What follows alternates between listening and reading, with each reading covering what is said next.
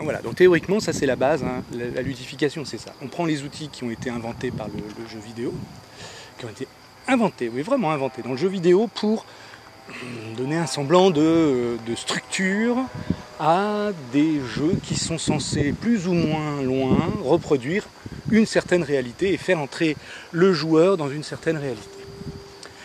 Maintenant, si on fait que ça, c'est assez basique, c'est assez minimaliste. Euh, on rajoute des points. Vous, allez voir sur n'importe quel site, euh, même de commerce ou de n'importe quoi. Euh, il y a des points, il y a des badges. on vous fait créer un petit personnage avec une petite icône. Vous pouvez importer votre image, tout ça. Et ben voilà, ça c'est la base de la ludification. Maintenant, la ludification, c'est quand même un peu autre chose aussi.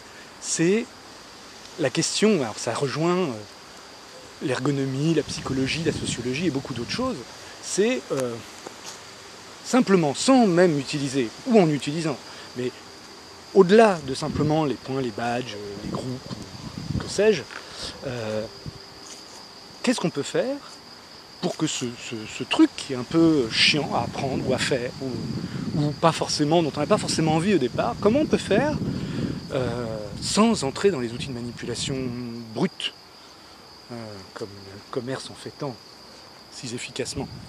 Euh, comment on peut faire pour, euh, pour, donner envie aux gens de faire, je sais pas moi, de, jeter leur papier gras dans la poubelle plutôt que de le jeter dans la rue, ou trier leurs déchets, ou pour, pour, dans une classe, pour les, pour les c'est vrai que c'est un, endroit relativement important pour la ludification. en classe, qu'est-ce qu'on peut faire pour que le cours soit plus intéressant, plus euh, vivant, plus, plus, même les exercices les plus chiants puissent être intéressants? Alors, la ludification, elle peut être interne au problème. Par exemple, imaginons, prenons l'exemple. On peut dire, par exemple, que, là, je veux transmettre des, règles, par exemple Pythagore, à une classe d'élèves. Je peux, faire une, ludification directe, c'est-à-dire, je peux dire, voilà, je fais des exercices avec Pythagore comme, euh, euh, comme centre, et je fais des jeux basés sur ça. Euh, soit en mettant, par exemple, comme je disais tout à l'heure, des pommes ou des, poires ou je sais pas quoi, soit en en faisant une espèce, de, racontant une histoire, en, en prenant l'élève et en le mettant dans, dans un scénario hein, qui, va lui donner envie de faire les exercices, alors qu'à la base, pff, ça le barbe.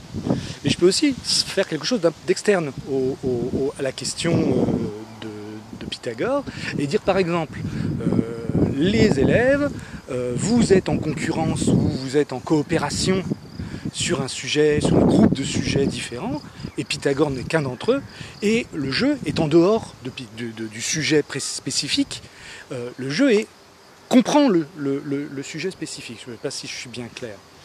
Euh, par exemple, un élève qui comprend bien euh, ce qu'est Pythagore, je peux l'inciter par des bonus ou des points sur un, sur un, sur une, sur un concours, par exemple, hein, des, points ou sur un. Je peux l'inciter à transmettre son savoir à d'autres. Ça, ça, va permettre de transmettre plusieurs savoirs en même temps. Euh, et ceux qui justement ont un petit peu de mal avec, avec les maths ou avec, la géométrie ou avec, avec Pythagore vont, vont bénéficier de, de, cette expertise et, euh, et, le, gamin qui transmet, il, il, transmet doublement. Il transmet à la fois son expertise et... Euh, hmm, je ne suis pas très clair là. Je vais essayer d'y réfléchir et puis de vous mettre ça plus au clair.